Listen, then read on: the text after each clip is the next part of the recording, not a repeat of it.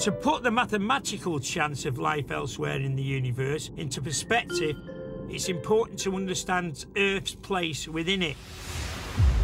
Our galaxy contains an estimated 400 billion stars. If the planets around just 0.001% of these harbour some kind of life, that still leaves 40 million, almost three times the population of Chile, that could support life. Once you then consider our galaxy is just one of billions in the known universe, it's enough to twist anyone's melon. The universe may be vast, but it's conspired to put Antonio and I together on this mission. We're gonna be there where this thing happened right now. The odds that we're gonna see UFOs, I, I, I doubt it, but uh, you never know, of No. course. But Antonio has his doubts, but as we weave our way through Santiago, I know from personal experience that stranger things have happened. I'm Shaun Ryder, lead singer of the Happy Mondays. I'm in Chile on a mission to find out the truth about the country's UFO sightings. On the trail of one of Chile's most curious recent cases, I managed to get official military clearance to the Chilean Air Force Base, El Bosque, outside Santiago. Commander Perry, a fighter pilot and instructor, is here to meet us. Hello, sir. Hiya. Nice to meet you. Welcome. And you. Welcome to the Air Force Academy. Thanks for having us. Ah. Home to the Chilean Air Force Academy, the skies above the base are often abuzz with military aircraft. But on November the 5th, 2010, it played host to something much more mysterious. Anyway, this is good. When I left Northern England, it was snowing, so this is a lot better. This is the base, is Yeah. it? Where the That's right. was Uh, you was you here that day? I was there. I was in the part of of the formation of uh, F5. You was flying? investigation. That's right. Wow. What do you think that is? Well, I certainly don't think it's an insect. You know, as, Yeah, as you somebody uh, said. Maybe dust in the camera or no? No, no. I didn't say anything. I was just Too busy seeing the, the concentrating. formation. Yeah, I very busy. So when you was flying that day, what speed was you doing in your Uh, plane? we passed uh, about uh, 350 knots. and that thing was probably going about 3,000 miles an hour. Very fast here.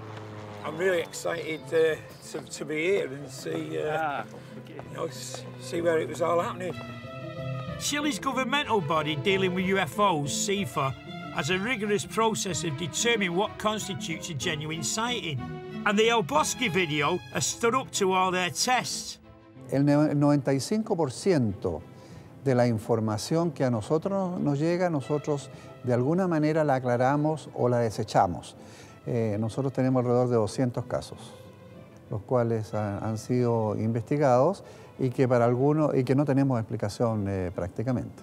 Digamos, o que tienen una explicación que es un fenómeno aéreo no identificado. Of the seven videos captured that day, so far only one has been officially released by CIFA.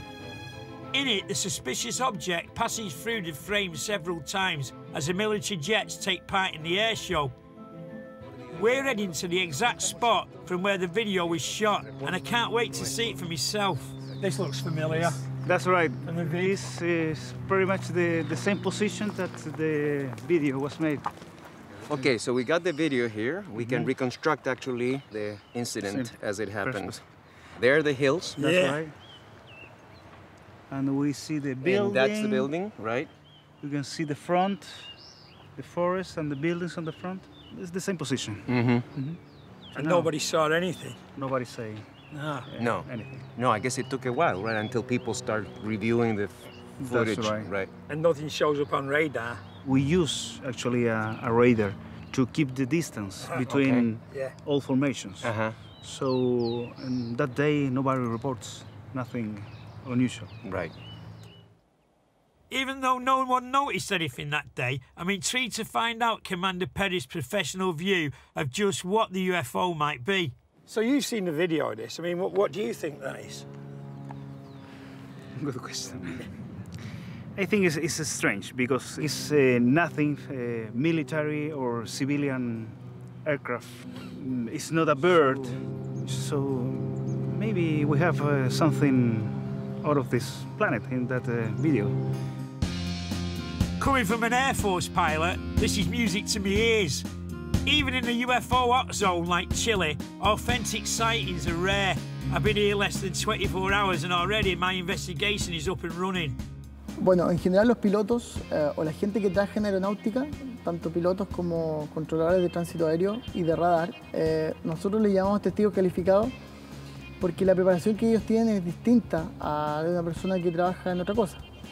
Y por otro lado, eh, el que está más familiarizado con distintos modelos de aeronaves o distintos fenómenos meteorológicos que están ocurriendo hoy día en nuestra atmósfera. This is our first bit of real evidence. It's, uh, I'm over the moon, you know? Yeah.